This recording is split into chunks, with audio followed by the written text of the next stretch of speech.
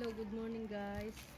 Nag-order ako sa Lazada ng ano, sling bag para sa cellphone ko. Kasi kapag umaalis ako, palaging malaking sling bag yung dala ko. Kaya nag-order ako ng ganito para lang sa cellphone at sa wallet. Maganda siya. Oh guys. Oh. Mukha naman siyang matibay. Ito. oh. Yung case yung ganda niya.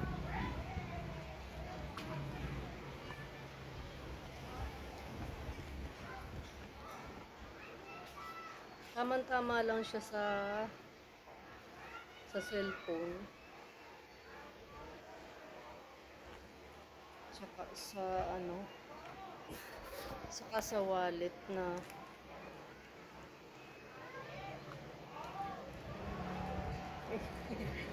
hindi kasya yung wallet.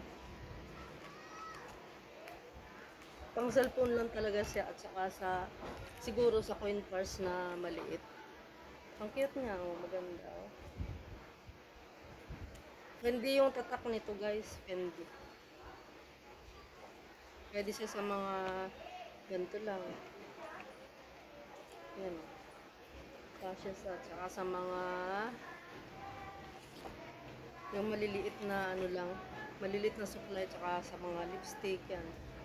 Maganda siya, guys. So, 100, eh, ano lang to, 95 pesos lang.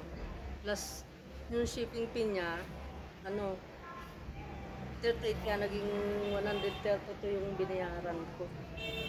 May gagamitin ako pag lumalabas ako ng bahay. Tsaka pag umaalis-alis ako, hindi na kailangan yung malaking sleeping bag. Hindi yung tatak nito guys, ayan. Tapos tingnan niyo yung ano niya.